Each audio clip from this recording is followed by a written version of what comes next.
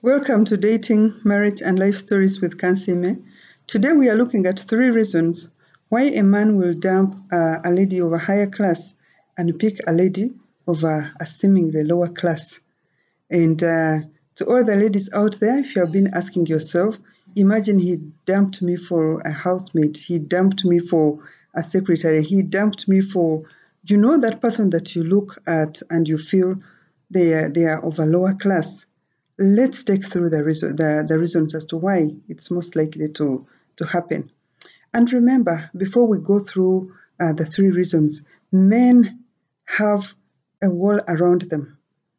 And uh, this wall they build so strong that you either succeed and get into the wall, or you stay outside the wall, or you try to crush the wall and you crush this guy completely. And if you crush him and he's your husband, he's your fiancé, he's your guy, what are you going to gain?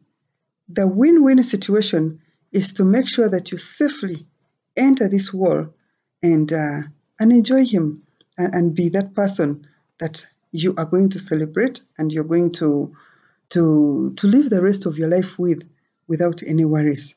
The three reasons why a man will drop you for a lady of a lower class are one, number one, you never take his things seriously. You never take him seriously. He may be not having so much money, and he will come and tell you, Oh, uh, I, I saw just this beautiful car. Uh, it's, it's, a Mercedes, and, and, and that's my dream car, and I am planning on buying that.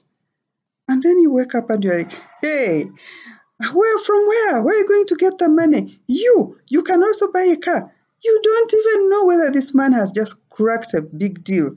You don't even know whether this man has just received a promotion at his place of work. You have not even sat down to think, why is he dreaming big all of a sudden when he was uh, just low and, and small the other side? You crush, you, you, take, you don't take seriously the things that matter to him. He will talk about uh, the project he wants to, to do, he will talk about the job he wants to take on, but you keep bringing him down. You assure him how he cannot do better. Why did you choose him if you think he cannot do better? Any woman's job in a man's life is to encourage him, to, to, to strengthen him, to, to be that fallback position that if this man succeeds, you will be behind him and you'll say, Yes, I was there all the way and I supported him. Number two, a man will drop a woman of class and pick a woman of a lesser class because you belittle him. You belittle him before parents, you belittle him before family, you belittle him before his friends, you belittle him even before your workmates. You just talk about him like, ah, that one also, that is how he is. Oh, you're Moleke, that is how he is. You belittle him and the guy is fed up. Every man's ego goes down each time you bring him down. And so, the more belittling you do to this man, the more reason he's going to dump you. I know of, of women who, uh, when they, they, they, like, you know, like they come to your home and, and they are talking about him for one reason or the other. And then the woman will say, ah, leave that one. That is how he is. That's how he talks. He will get better. He will come over it. Belittling your husband, belittling your fiance. Remember, the crown remains on your head as the queen for as long as that man is a king. If you pull the crown from his head and you make him just like any other person, he's no longer the king. Everyone knows about his weaknesses. Everyone knows he's not a serious person. Everyone knows that is how he is. You cease to be the queen. So, my sisters, stop belittling your guy if that is the man that you intend to live with the rest of his life. No man can fail to grow. Every man will grow for as long as he has a good wife. Every man is favored for as long as the wife he has is good. The Bible says, He who finds a wife finds a good thing. He who finds a wife finds a good thing and obtains favor from the Lord. Woman, are you a good thing to bring favor to your husband?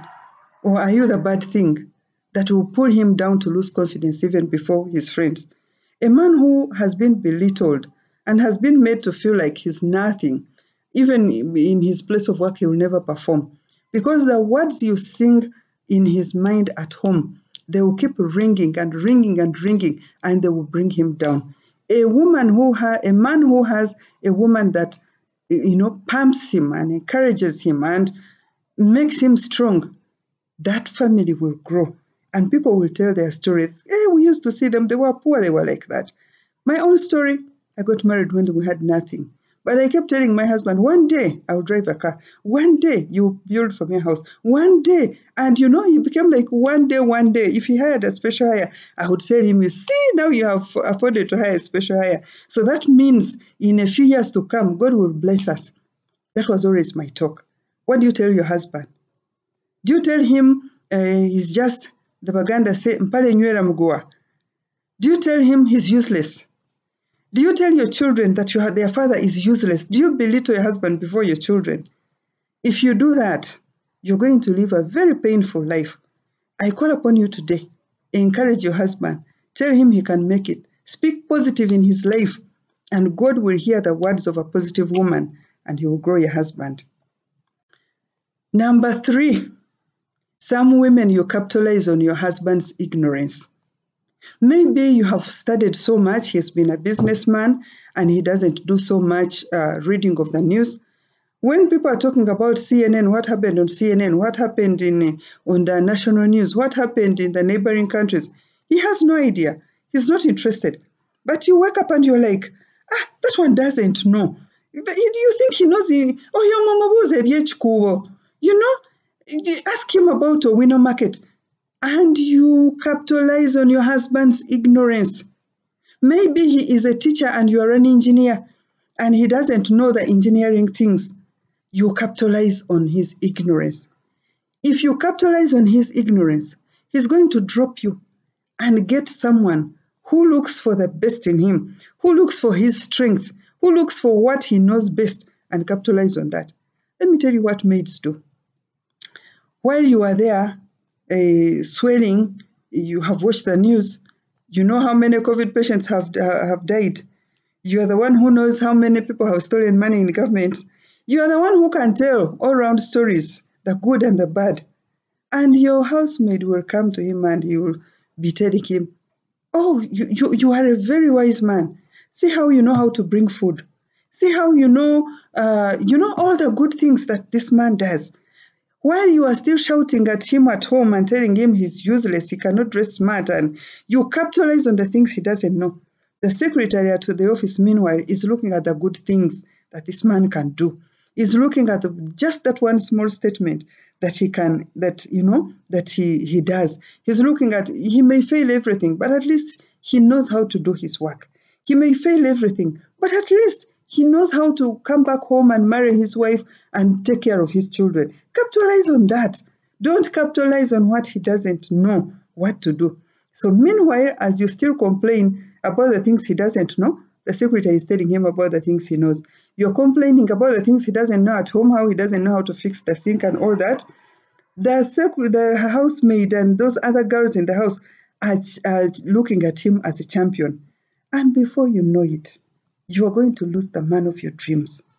Simply because, one, you capitalize on his ignorance.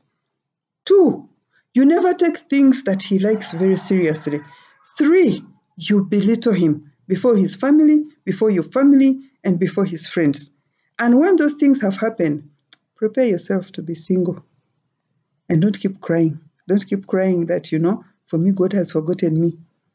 You know, for women, you can joke around with a man until you turn that age. When you're uh, 10, you, you're, uh, you know, 25, you're praying, oh God, I want a man with a Mercedes Benz and all that. When you turn 35, 40, you're praying, God, distribute my number to everyone. In fact, I don't want a Mercedes Benz, I want a Toyota. When you turn 45, you're saying, God, I even want the one I can look after. So if you have this man, why are you disrespecting him? Why are you belittling him? Why are you not taking him serious when he talks uh, his dreams about you? So for today, if you love that man, please don't belittle him. If you love that man, don't take everything he says to you seriously. And if you are to advise him, advise him in love. If you love that man, capitalize on his strength. Don't capitalize on his weaknesses. And I will ask you again, please, when you watch this video, like, Click on that like, the little hand. Subscribe to your Gmail account. Open your Gmail account and sign in and, and, and comment and subscribe if it is your first time. God bless you. I look forward to you having vibrant homes. I look forward to you having uh, strong men, to have favored men. I look forward to you growing as a, a, powerful couple that is so blessed by man and is so blessed by God. God bless you. Keep coming to this channel. Watch the past videos. And when you subscribe, you will get a notification whenever we post a new video. Thank you so much. Bye-bye.